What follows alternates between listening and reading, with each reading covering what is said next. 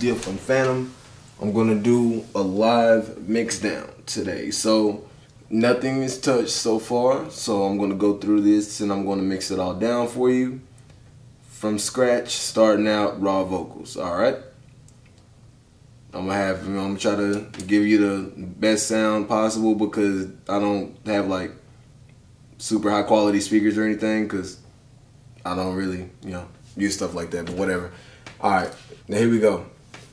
You can't really see it a lot. I don't have a screen recorder. I don't know what to use for Mac. I can't really get into it like that. But however, I will let you know everything and everywhere I'm going before I decide to you know do anything. All right, here we go. Let's get started. Okay, let me make sure it's not too loud on my cam. Okay. Now I'm gonna start out. The first thing I'm gonna do is I'm gonna check my balance. And basically how I do that is usually there's something called buses, but I don't ever use it on here. I don't really know where it is on there. I don't use it on this program. I know on Acid Pro they have buses. On this one, I just pretty much eye it here and look where it's located. So what I'm gonna do is I'm gonna try to have this here, the beat balanced as much as possible with my core take. Your core take is your main, you know, your for people who don't know this, your core take is your main main record, you know, your main one that's the loudest that you have stand out more than any and all of them. Okay, so this is my core, and what I'm about to do is I'm gonna check the volumes and see how they level.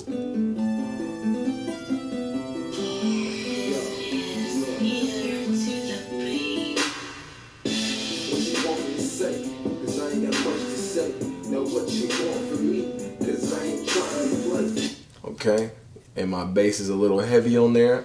So what I'm gonna do is I'm gonna just turn it down a little bit. I don't want to put bass reduction on it because it's gonna take it off too much.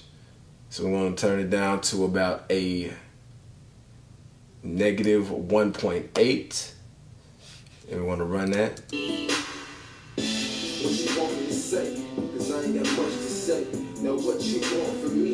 And that's a lot better. Okay, now this fourth one here I'm clicking on is my overdub, my emphasize. Okay, I'm gonna turn this down to at least a negative four. Not usually, depending on how you're recording and how loud you have your recording device, you know, is it'll vary. But me, usually, I keep it between four and six. But actually, you know what? I'm gonna I'm gonna do it and take it down to my standard. What I usually do. Take about five three. Okay, so I lowered it, the volume right here next to this down arrow, whichever model you're using, they're pretty much similar. This is GarageBand's tutorial for those who don't know or didn't read the title.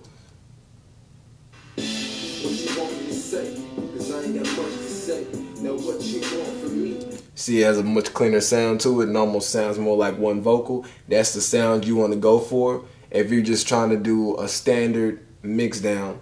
Okay, now what we're going to do now is I'm going to take you to the equalizer because I want to balance that out a little bit. To get to your equalizer, for those who don't know, you're going to click whichever take it is you want to go to and you're going to go to edit on your far right hand side here. Okay, be sure you're on real instrument because if you go to master, you're going to affect the entire thing. So just be sure you're on real instrument and have highlighted what you want to do and when you want to use one of these effects, you just click on the box here. You know, you can go down and pick whatever you want, depending on how in detailed and in depth you get with your mixing. But we're going to keep it standard here. We're going to go take it to the uh, equalizer. All right. At the bottom right of your equalizer box, you have an analyzer. What this does is it shows you your frequencies. You see these wavelengths? You want to keep these as centered as possible. You don't want any exceeding another unless you're doing a certain kind of effect. So we're going to see what I need to fix on mine. Let's start from the beginning.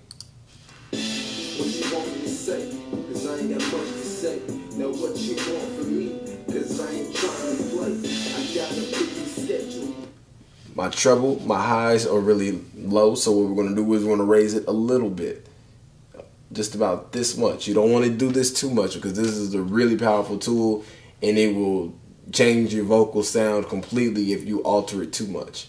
So we're going to try one more time. Let's start from the beginning.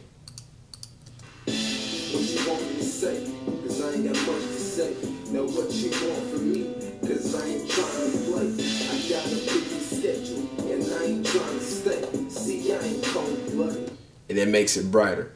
Okay, so it's a little bit brighter now.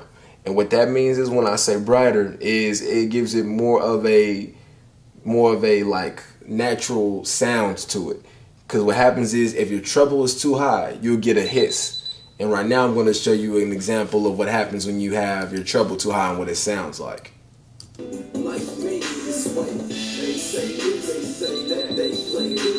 You hear that? I don't know if you can hear them that well, but if you hear it, it's it, this is really heavy hisses, like your S's and your words that have really high hisses to them when your treble's too high. Okay, so if you have hisses, you need to come over here you need to lower your treble. And again, users of GarageBand, they have an analyzer on here, so to tell you what's too high, you know, and what's not. If you're getting a muffled sound like this,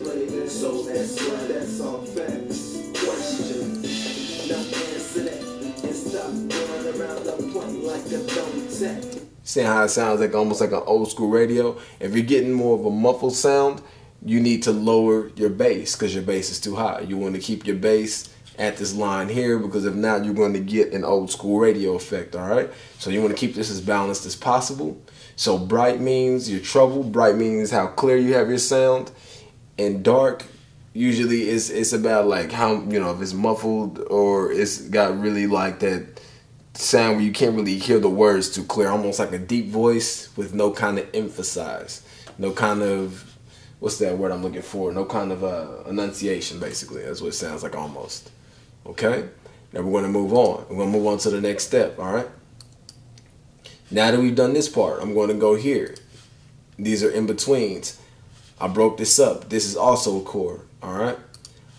I want to play I want to play ear play on them. I want to have one on one ear, and I want to have one like another take on another ear. Okay, so what we're gonna do is we're gonna take it as far as soloing out this time. Okay. They say this. All right, so we have that, and then we're gonna solo these both out so you can hear them. They say this, they say that, they play this, they play that. You get what I'm saying? Okay. Now that you've heard it, what I'm gonna do is I want one in one ear and one in the other. This here is my core. I leave this in the center to keep my sound dominant with the center. These these here are the overs for this chord. Okay? Now I'm gonna play these two together so I don't lose you. Wait. They say that. They play that. Okay, and that's what correlates with this text. What I'm going to do is, and this one here correlates with this one. Okay, and let's put it next to each other. This correlates with this one. Let's go ahead and solo it out so you can hear it. Oh, bloody life made me this way. They say this, they play this. Okay, now we're going to play them together, so just so you hear it. Wait. They say this, they say that, they play this, they play that. So that's right, that's all fact. Okay, so now you've heard it. Now what I'm about to do is I'm about to use my pan. Your pan is this. That's what this circle is. For those that don't know or never used it or just never wanted to mess with it, this is your pan, okay? This here is my over that goes to this one. I want this on the right hand side. I'm only going to take it to about a 20 because I don't want to cause distortion. If you red line down here in your master, you're going to cause distortion and you can blow your speakers out. So you need to make sure this is never on red. Okay? And if you want to turn it up, there's mastering programs. That's what uh, mastering programs are for. If you want to raise up the track without causing distortion. Because if you're just trying to raise it and export it and you turn it all the way up, which I know a lot of people do, that's not the way you're supposed to turn them up. You're, you're messing up your, your core vocals. You need to use a mastering program to do so. All right? Now, I've done this first pan. Okay, and I'm gonna go ahead and I'm gonna take it to this one, and I want this to pan 20% to the left.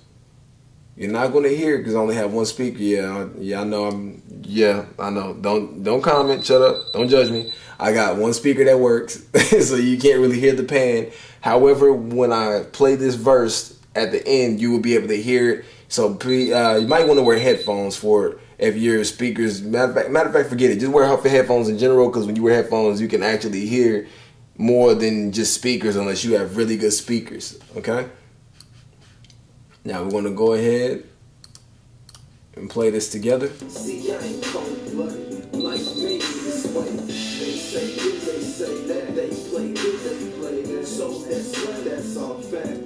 And you know, it's pretty much already done. Mixing down is as simple as that. If you know how you're recording, I've been recording a long time, so I really don't have a lot to edit because the way I record.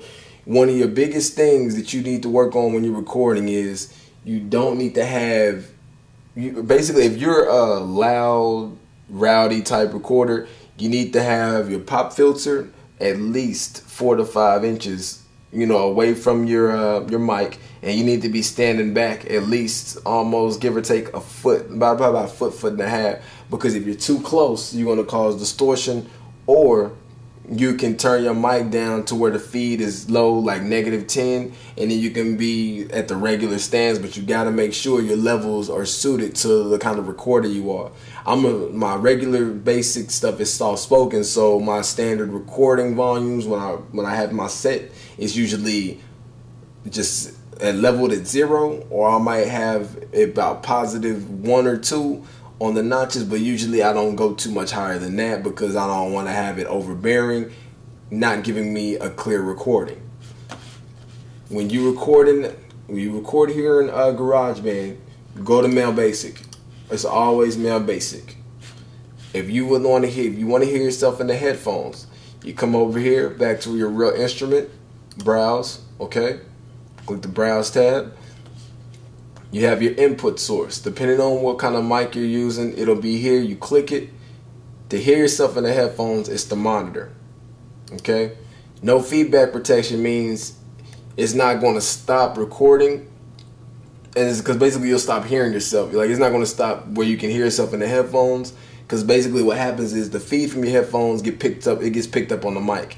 If it picks you up while you're recording on the mic, it'll turn off the feedback and that's what that's what on means. No feedback protection means it's going to run regardless if it hears you in your headphones or not. It's going to keep running, and you'll still be able to hear yourself, and it won't cut it off. But usually for professional recordings, they have you know things and different deals with that. Not really going to get into that right now, but with the standard, now that we've gone over it, it's mixed down.